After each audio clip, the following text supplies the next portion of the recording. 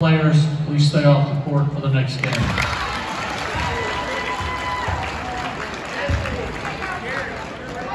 Finally, Harmon at the line for Redbank short one shots.